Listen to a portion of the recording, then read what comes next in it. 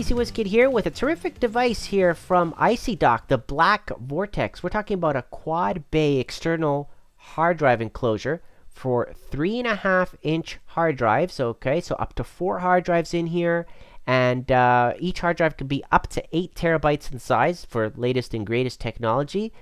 As you can see here, these are the main highlights. It's going to support USB 3.0 and eSATA. Obviously, uh, this is for SATA hard drives, just so you know. Comes with a nice blue LED fan, which you can control the speeds on. But the, the beautiful thing about it is what you can use this for. Expanding your storage, whether it's on your PC, on your Mac, a home server, maybe you've got a media center.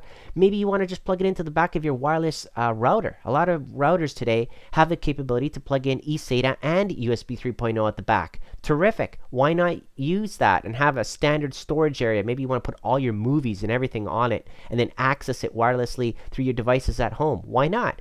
There are the cables for the USB 3.0 and eSATA, and there is the power adapter, of course, that you would uh, need to attach it to. Possibilities, like I said, are endless, but let's take a look, look here at the high-low uh, options for the uh, LED and the airflow coming in through this vortex, this black vortex. It's going to suck in the cool air from the front and cool off all your hard drives in there. You can see the, the hinges on the side. Very strong, sturdy construction, mind you. This is not going to break easily. It's meant to look like this to allow a lot of air airflow going through it as you can see strong ribbon construction there nothing's going to detach itself easily open up break uh, without uh, you know you dropping it from high altitude. I tell you, this is uh, solid. Here is the USB 3.0 and eSATA plugs at the back. Of course, you've got your power and the power switch is just above it, and uh, that's out of sight, so that way you don't accidentally touch it and turn it on or off um, with your foot or wherever it is that it might be on your desk.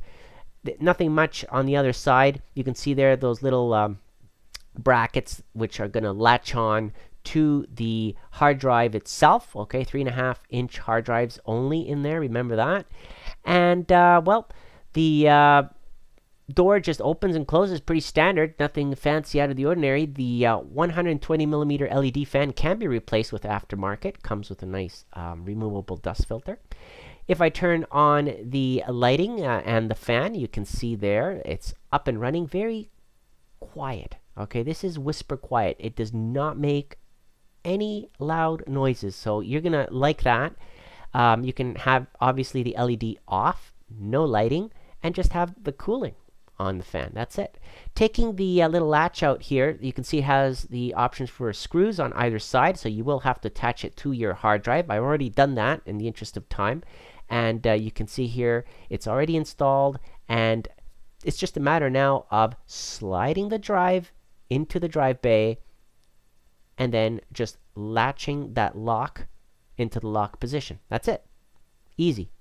And you would do that with all four drives should you decide to buy four, right? You don't have to buy four. You can buy two and then later on get the other two. It's up to you, but it has the expansion capability. That's great. Once you have the hard drives in there, It'll be blue, all the LEDs, and it'll blink, of course, when there's activity going on from those hard drives. You can see the HDD2 where I just slid in that hard drive. And in Windows 10, you can see the J uh, Micron generic uh, SCSI uh, drive device. That's what it's detected and installed as. So you can see there the uh, drive that I just slid in there works great like a charm, expanding the capabilities of my machine. Now I have another uh, terabyte of space, but of course you can expand this up to 32 terabytes uh, should you decide to buy uh, four 8 terabyte drives. Okay, now this is compatible with a Mac, Linux, Windows, you name it, it will work. So there you have it. Excellent product from IcyDock. Comment below on this black vortex. And again, thank you for watching.